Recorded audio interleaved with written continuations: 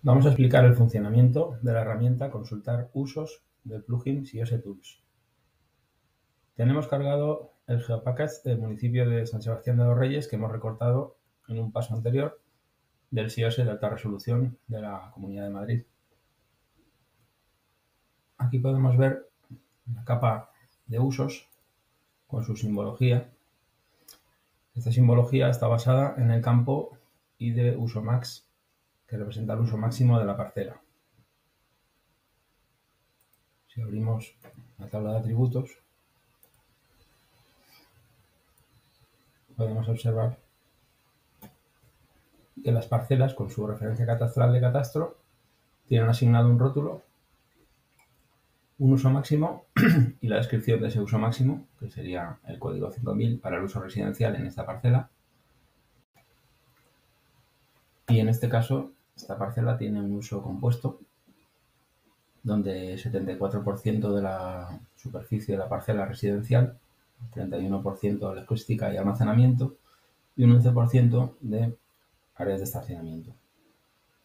Hay que decir que el porcentaje puede superar el 100%, puesto que el uso puede darse a distintas alturas dentro de una parcela cuando hay un edificio, por ejemplo.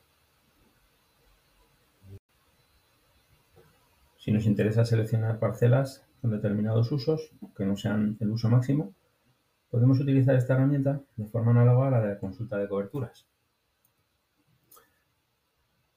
En este desplegable seleccionamos la capa de usos que nos interesa, en este caso solo allí está.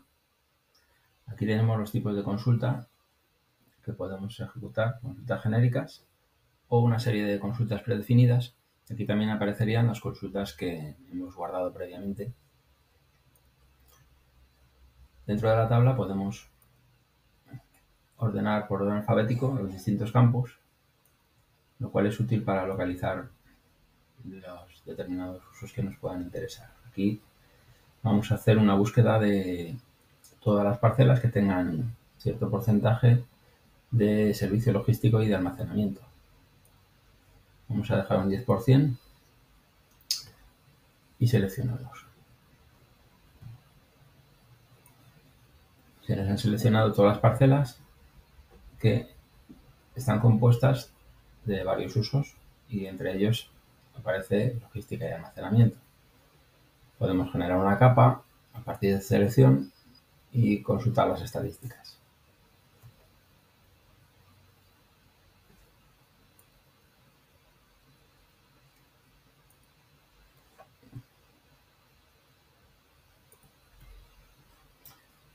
Aquí tenemos las parcelas que tienen este uso en un porcentaje mayor del 10%.